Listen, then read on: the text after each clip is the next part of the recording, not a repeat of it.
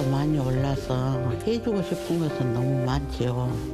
그런데 진짜 시장 가면은 들었다 놨다 해야 돼요. 낮에 식사 때만 부를 때입니다. 기름값이 뭐 한 달에 한 50, 50만 원 정도 들어가기 때문에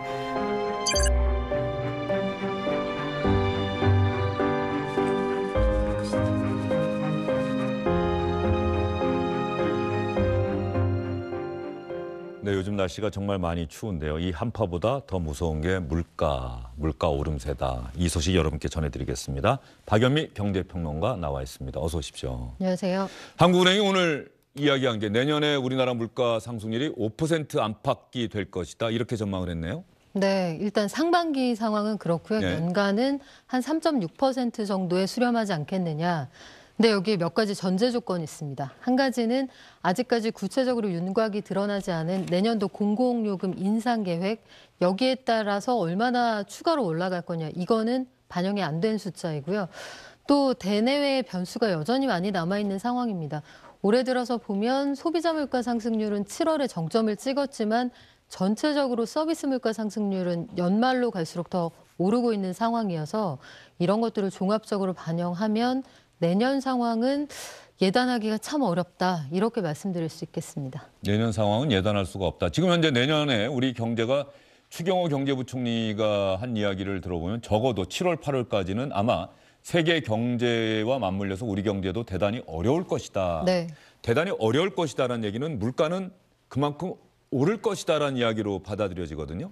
물가는 현재처럼 높은 수준을 유지하는 상황에서 금리는 추가로 내려갈 가능성이 적은 상황이거든요. 네. 그러면 내년 여름까지는 미국도 내년 2, 3월에 추가로 금리를 올릴 것으로 보이고 우리도 적어도 한 차례 정도는 더 올릴 것으로 보이니까 가계가 지출해야 하는 반드시 지출하게 되는 원래금 부담 이런 것들은 더 올라갈 테고 물가는 올라가 있는 상황에서 인건비도 상당히 올라가 있고 전체적으로 서비스 요금도 계속 올라가고 있는 상황이기 때문에 아마 단적으로 이렇게 느끼실 겁니다. 지역에서 그냥 평범한 가격의 그 미용실을 가셔도 네. 남성 헤어컷 이런 가격이 보통은 15,000원 정도 이게 일종의 기본 요금 같은 그런 기준이었다면 네. 이게 최근에 동네에서도 올랐습니다. 어... 칼국수 가격 이런 것들 많이 올랐다는 말씀은 상반기에도 드렸는데 이제는 서울 시내 주요 상권이 아니더라도 각 지역의 골목 상권에서도 거의 만 원에 준하는 가격을 지불을 하셔야 칼국수 한 그릇 드실 수가 있거든요. 예, 저희 동네에 유명한 칼국수 집이 있는데 지난해는 한 8천 원 정도 했던 걸 기억하는데 그렇습니다. 어느새 만 원이 됐더라고요. 네, 예. 그래서 아마 내년도 가면은 이제 원재료 가격 상승분 이런 것들을 아. 누르고 눌러도 예. 내년에는 올릴 수밖에 없습니다. 아마 메뉴판 다시 쓰는 가격들이 늘어날 거고요. 아마 최근에 그 백반집 가시면 뒤에 그 뭐 5,500원이다 하면 그 뒷자리가 새로 붙여서 테이프 위에 다시 숫자 쓴 이런 것들 많이 보시게 될 텐데 내년에는 학원비 뭐 등등해서 줄줄이 가격이 인상될 가- 가능성이 남아 있습니다. 외식비, 식료품 가격, 그리고 뭐 기름값, 전기요금 이런 것들이 사실 우리 실생활과 밀접한 관련이 있는데 물가가 오른다는 얘기는 결국 이러한 요금들이 같이 오른다는 걸 의미하는 거죠. 네, 올해 내내 상황을 보시면 연초에 러시아 전쟁이 시작이 된 이후에 원재료 가격이 급등을 하게 되거든요. 예. 곡물 가격 그리고 기름값이 급등을 하고 이게 순차적으로 반영이 되면서 가능한 감당을 해보겠다 했던 기업, 자영업자들이 이제 연말이 되니까 더 이상 버티지 못합니다 하고 순차적으로 가격을 올립니다. 이게 소비자 물가에 반영이 되는데 시차가 그만큼 걸린 거고요. 해외에서 이제는 기름값 좀 떨어지고 곡물 가격도 하락하고 있다는데 왜 그래요? 물어보시겠지만 순차적으로 반영이 된다. 또 원유 가격, 또 다른 의미의 우유 가격도 올- 오르지 않았습니까? 이런 것들을 전체적으로 고려하면 내년에는 서비스 물가, 소비자 물가 더 오를 가능성이 있는 상황이고 가격 자체를 올- 올리지 않아도요. 용량이 줄거나 아니면 서비스에서 몇 가지를 뺀다 이런 것들 아마 경험하실 겁니다. 이건 쪼그라든다는 의미의 shrinkflation이라고 하거든요.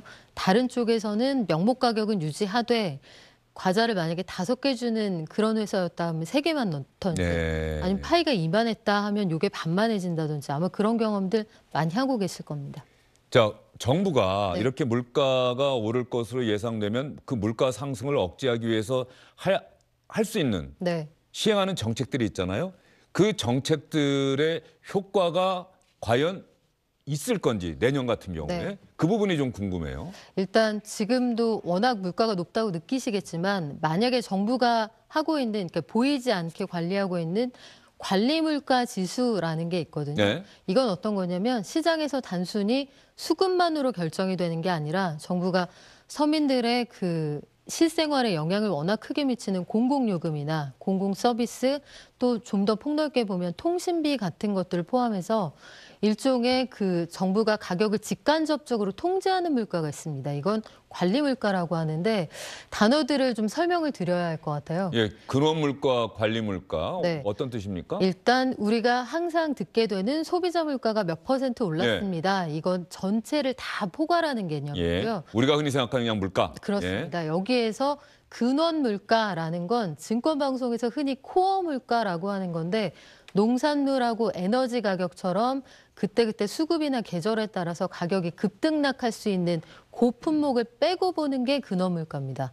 왜 근원이라고 하냐면 수급에 따라서 가격이 급등락하는 품목까지 포함했을 때는 물가 지수가 좀 교란될 가능성이 있지 않겠어요? 많이 흔들리겠죠. 그렇죠. 예. 여름, 겨울에 뭐 난방 수요 아니면 작황에 따라 달라질 수 있으니까 이걸 빼고 기조적으로 정말 물가가 어떻게 가고 있느냐 이게 근원 물가라고 보시면 되는데 근원 물가가 좀 걱정스러운 건 소비자 물가 전체 다 합친 거 소비자 물가는 7월 이후에 하락하는 추세가 보이거든요. 예. 근데 근원 물가는 7월 이후에 우상향 곡선이 뚜렷합니다. 그러니까 헤드라인 우리가 명목상의 물가는 떨어지고 있지만 저 근원 물가라고 하는 것은 기조적으로 올라간다는 뜻이에요. 예. 그러면 서비스 물가 등등에서 계절과 수급에 따라 가격 급등락하는 것 빼고도 이제는 고물가 시대를 견뎌야 하는 상황이다. 근원 물가는 그걸 보여주는 거고요. 관리 물가를 제외할 경우는 이제 붉은색인데 관리 물가는 또 어떤 뜻입니까? 관리 물가라는 건. 네네 관리 물가라는 건 저 그래프에서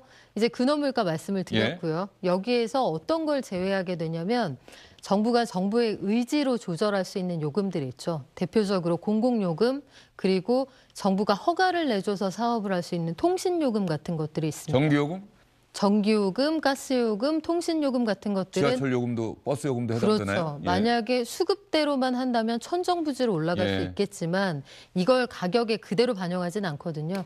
정부에서 인상 요인이 있지만 어느 정도까지만 올려라. 정부의 힘이 작용하는 부분의 요금인데 근원 물가에서 이걸 빼고 보니까 오히려 상승폭이 더 커지더라.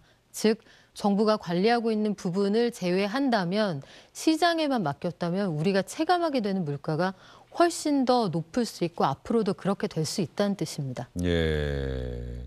이런 상황에서 기름값 정부가 지금 유류세 인하를 계속 넉 달 더 연장한다고 어제 발표를 네. 했는데 그럼에도 불구하고 기름값이 오를 것이다. 99원, 리터당 99원 뭐 이런 이야기도 나오던데. 네, 기름값에서 상당수는 예. 세금이거든요. 예. 사실 거의 절반이 세금입니다.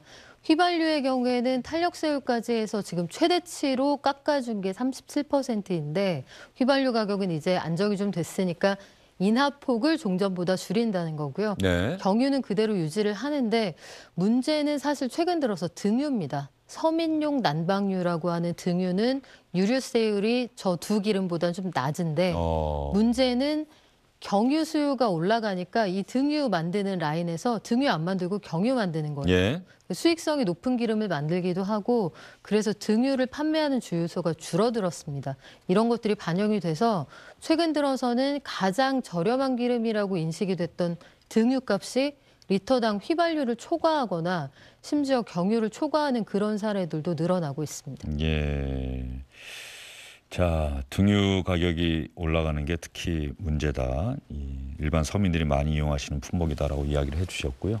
지금 뭐 색연필 이런 부분들 물가가 가격이 얼마나 올랐는지 네. 지금 보면 상당히 많이 오르고 있다. 색연필이 11월에 23.8%, 크레용이 20%, 서울 택시 기본 요금이 내년 2월에 26.3%, A4 종이 복사지가 7.6%, clear file 50%, 한의원의 봉침 시술비 50%. 아, 한의원은 제가 가본 적이 없어서 이 봉침 네. 시술비가 또 50%나 올랐군요.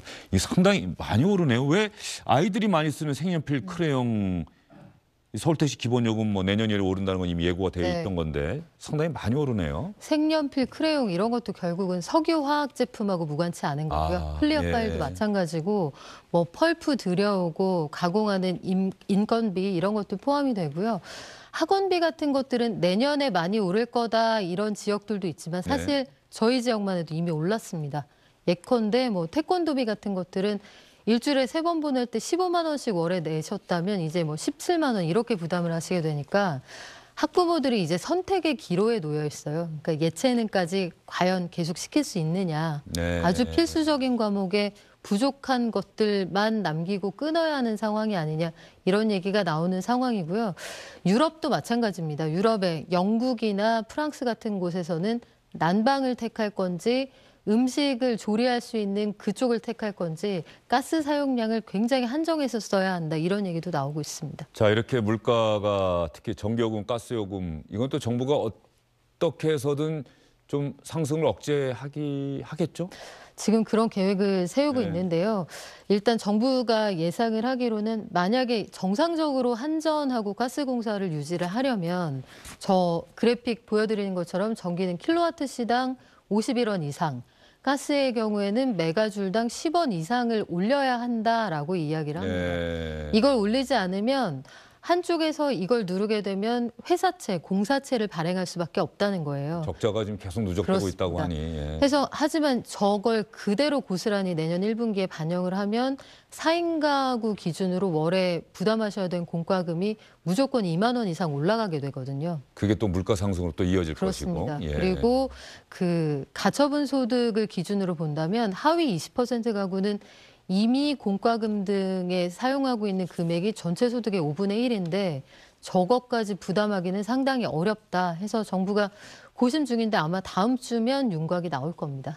알겠습니다. 내년에 해가 바뀌었을 때 또 물가가 어떤 모습을 보이게 될지 정부는 또 어떤 대책을 내놓게 될지 그때 또 박영미 평론가와 이야기 나눠보도록 하겠습니다. 말씀 잘 들었습니다. 안녕하십니까 주영진입니다. 더 많은 뉴스와 라이브 이벤트를 보고 싶으시다면 화면 오른쪽을 눌러서 구독해 주시기 바랍니다. 저희 SBS 앱을 다운로드 받으시면 뉴스 속보 알림도 받아 보실 수 있습니다. 텔레비전으로도 SBS 뉴스, 유튜브로도 SBS 뉴스 잊지 마시기 바랍니다.